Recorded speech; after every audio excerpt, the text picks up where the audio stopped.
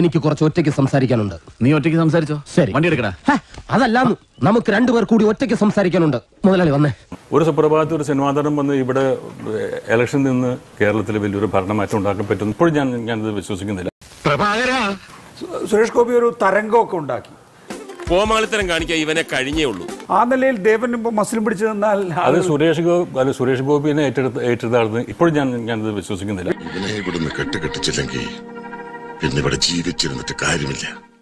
അന്ന് B J പിക്ക് ഇത്ര vote കിട്ടാനും ഇത്രയും സ്ഥാനങ്ങൾ വരാൻ കാരണം ശബരിമല ഇഷ്യൂ ആണത്. It is not because of Suresh Gopi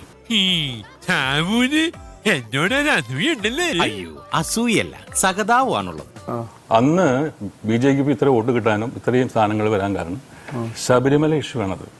It is not because of Suresh Gopi നീ കൂടുതൽ ഷൈൻ ചെയ്യരുത്. ഞാൻ വിചാരിച്ച ഇപ്പൊ നിന്റെ അടുത്ത് പുറത്താക്കാൻ പറ്റും. പേടിപ്പിക്കണോ ആണെന്ന് കൂട്ടിക്കോ. കടുക് കുറച്ച മോത്തൊഴിക്കും തൃശ്ശൂർ ഞാനങ്ങ് എടുത്തു. എന്നൊക്കെയുള്ള ഒരു സുരേഷ് ഗോപിയുടെ ഒരു മാനരസത്തോടു കൂടിയുള്ള വർത്താനമുണ്ട് അതൊക്കെ വലിയ ട്രെൻഡിങ് ആയിരുന്നു. തൃശ്ശൂർ ഞാനങ്ങ് എടുത്തു. എന്നൊക്കെയുള്ള ഒരു സുരേഷ് ഗോപിയുടെ ഒരു മാനരസത്തോടു കൂടിയുള്ള വർത്താനമുണ്ട് അത് മറ്റുള്ളവർക്ക് മാനക്കേട് ഉണ്ടാക്കാൻ വേണ്ടി ഇറങ്ങി പുറപ്പെട്ടിരിക്കുക വൃത്തികെട്ടവൻ. രാഷ്ട്രീയമായി പ്രവർത്തിക്കുന്ന ഒരാളാണ് ഞാൻ. രാഷ്ട്രീയമായി പഠിച്ചിട്ടുള്ള ഒരാളാണ്. അതിന്റെ പേരിൽ ഞാൻ ഒരിക്കലും സുരേഷ് ഗോപിന്റെ ഒരു പേഴ്സണൽ വോട്ടുകളല്ല. അവനെ കൊണ്ടൊന്നും പറ്റൂല സാറേ. അല്ലെങ്കിൽ ഒരു സിനിമാ നടന്റെ ഒരു പേഴ്സണൽ വോട്ടുകളല്ല.